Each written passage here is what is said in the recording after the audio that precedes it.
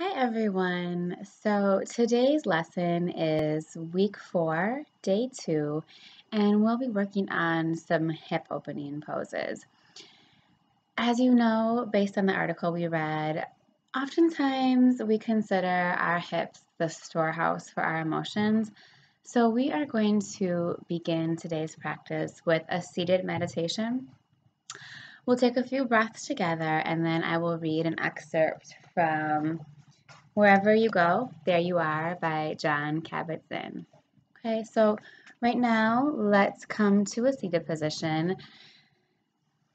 Just imagine that where your body meets the floor or the chair, that's sort of like the base of a mountain. It's sort of where you're drawing your strength, you're finding your connection to the earth in your base. And as you breathe up, just imagine that there's a straw and you're breathing up energy from that center. So just breathe in, filling your stomach, your diaphragm, your heart center with breath. Let's take five deep breaths together. So inhale, exhale.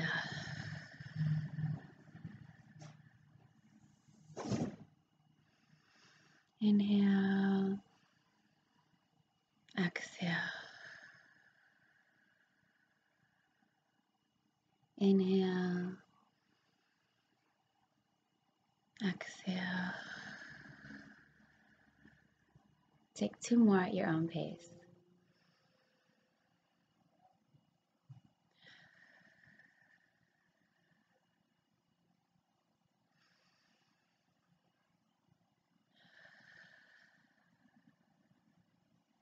And you're welcome to keep your eyes closed while I read this excerpt and just keep your awareness on your breath.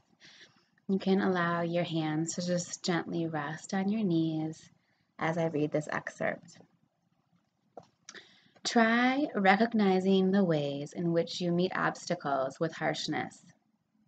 Experiment with being soft when your impulse is to be hard, generous when your impulse is to be withholding Open when your impulse is to close up or shut down emotionally. When there is grief or sadness, try letting it be here. Allow yourself to feel whatever you are feeling. Notice any labels you attach to crying or feeling vulnerable. Let go of the labels. Just feel what you are feeling, all the while cultivating moment to moment awareness riding the waves of up and down, good and bad, weak and strong, until you see that they are all inadequate to fully describe your experience. Be with the experience itself. Trust in your deepest strength of all, to be present, to be wakeful. Okay, let's take three more breaths here in our seated mountain position.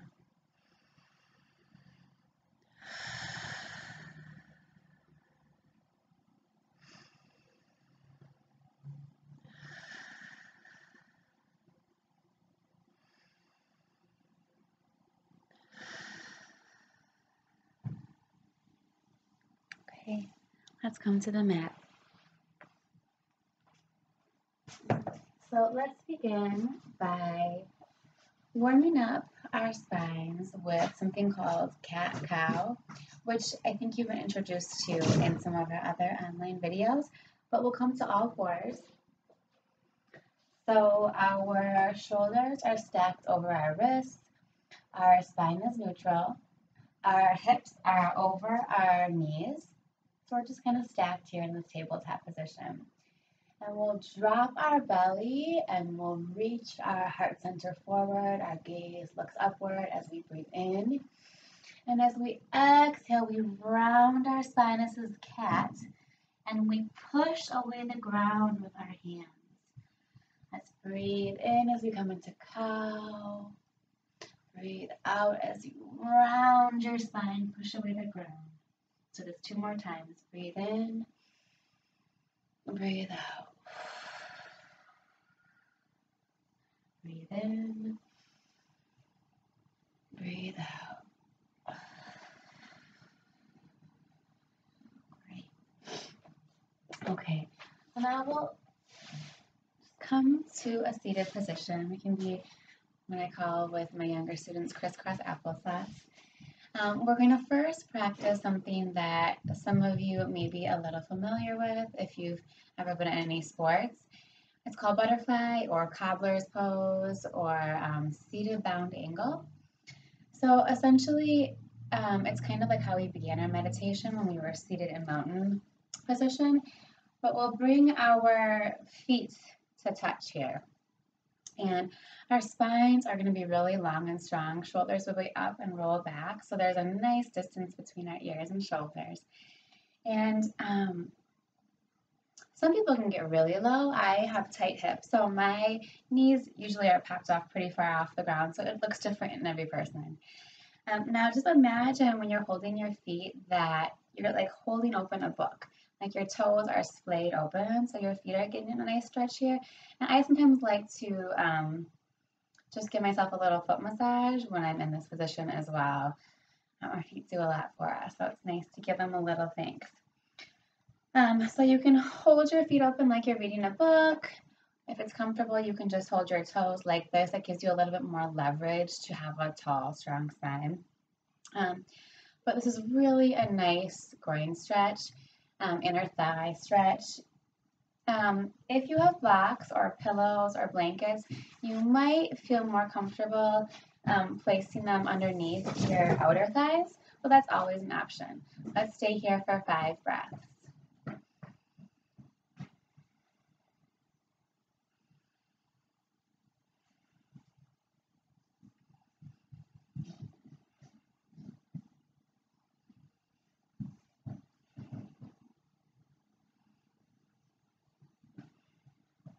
Okay, now slowly bring your knees back up to me.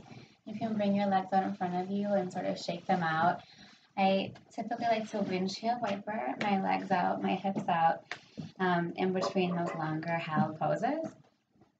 Um, so now let's move through again a couple rounds of cat cow. And then we will, um, from cat cow, move into something called balasana or child's pose. So let's come to our table cat position again. Let's do um, two cat cows. Breathe in into cow and breathe out into cat as you push away the floor. Breathe in, breathe out. And this time, as you breathe out, we're going to just slowly let our hips lower until they meet the backs of our feet, our heels. Now it may be more comfortable to have your hips a little bit wider and bring your forehead to rest on your mat. Your hands can be out in front of you, or if you're having some shoulder issues today, they can always come to your side like this. I'll keep mine extended in front of me. Um, child's pose is really about surrendering, letting go, it is a hip opening position, as I'm sure you can feel in your hips. It stretches out our spine as well and lets us come in contact with the earth. It reminds us that we are supported and we are held. Let's take three more breaths here in Balasana or Child's Pose.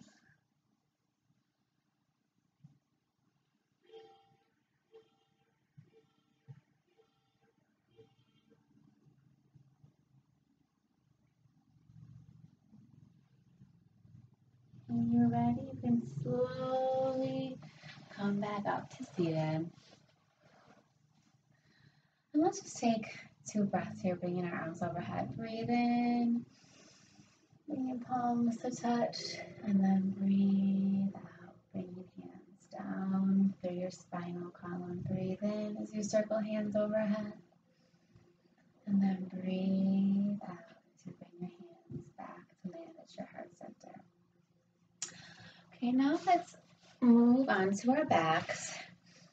Um, have those blocks or books or pillows handy as we move into these next poses. So um, we'll be practicing um, supine pigeon, which we practiced last time. It's called figure four as well, or thread the needle.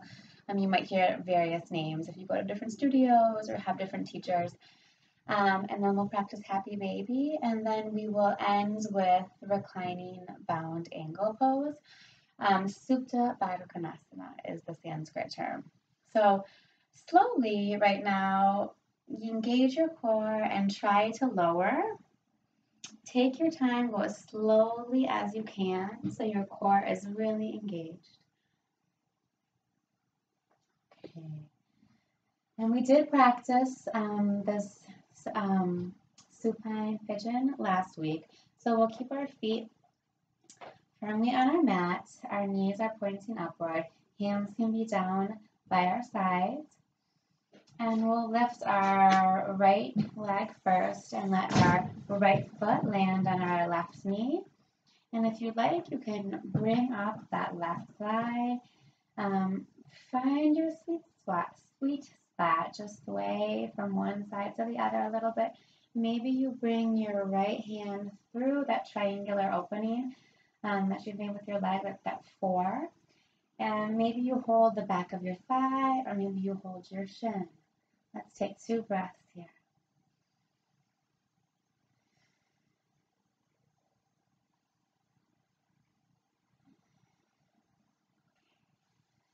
When you're ready, just let that go. Bring your feet back to your mat. Now let's pick up the left foot and bring your left foot to land on your right knee. Bring up that right foot. Maybe you stay here, just holding your kneecaps as you gently sway. Um, maybe you could use a little more stretch and your hands will go to your right thigh or your right shin. Let's take two breaths wherever it is comfortable for you.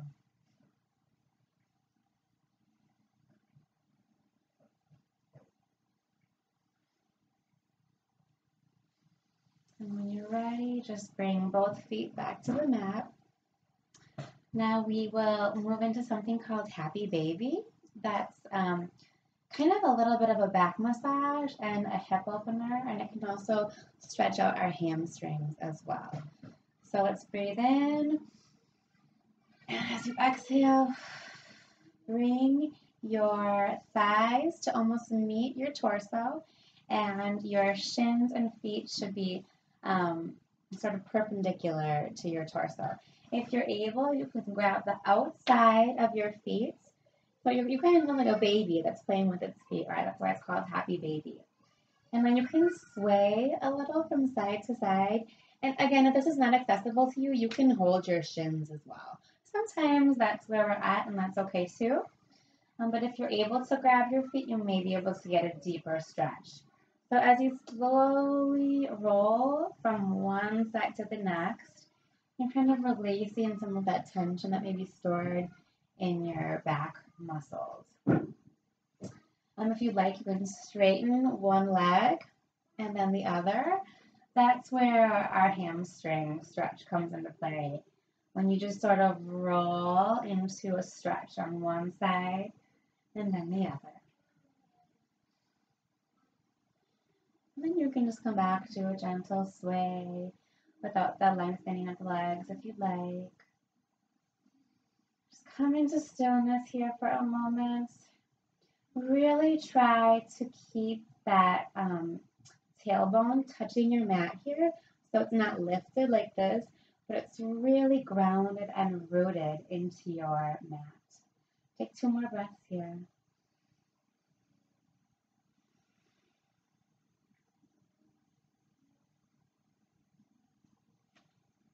Okay, release. Maybe you want your legs to um, just sort of kick toward the sky, roll out those ankles by pointing and flexing. And then we will bring our feet back down to the mat. Now, Supta Baddha Konasana, mm, this bound angle pose, um, is going to be very similar to butterfly or the cobbler's pose we practiced when we were seated, but this is supine, this is laying down. So we're going to bring our feet to touch while we gently let our knees open wide. Now this is also a hip opener as the other poses were, um, but it can be very grounding and a stress relieving pose as um, in Shavasana when you really surrender and let go, you let your body become heavy. Um, however, it can be too much for some people's hips. For me, I often feel more supported when I slide blocks or pillows under my outer thighs. Um, just having that little extra support can feel more restorative to me. Um, but just, you know, take stock of where you're at. And our hands can come by the side. Um, usually I let them be a little bit wider than directly next to my side or my thighs. Um, and I want to encourage all of you to practice Shavasana now in this supine bound angle pose. So again, just let yourself become heavy. Do your best to let go of thoughts. And if you think of thoughts, again, it's no big deal. Just notice and see if you can let it go and come back to this present moment. I want to encourage all of you to stay here for five minutes if that's comfortable for you. You can always bring your legs into a Shavasana pose if that is more um, conducive to where you're at today. So let yourself just melt into relaxation now. Make this time for you. And I will say namaste to all of you and thank you so much. Stay in this pose, but I will end the video now. Have a wonderful week, everyone. Thanks again.